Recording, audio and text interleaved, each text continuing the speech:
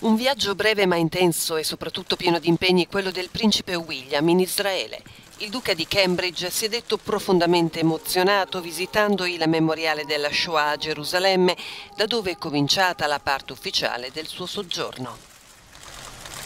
Non dobbiamo mai dimenticare quello che è accaduto, l'uccisione di 6 milioni di uomini, donne e bambini solo perché erano ebrei. Tutti noi, ha dichiarato il principe William, abbiamo la responsabilità di ricordare, di insegnare alle future generazioni gli orrori del passato, in modo che non si ripetano mai più.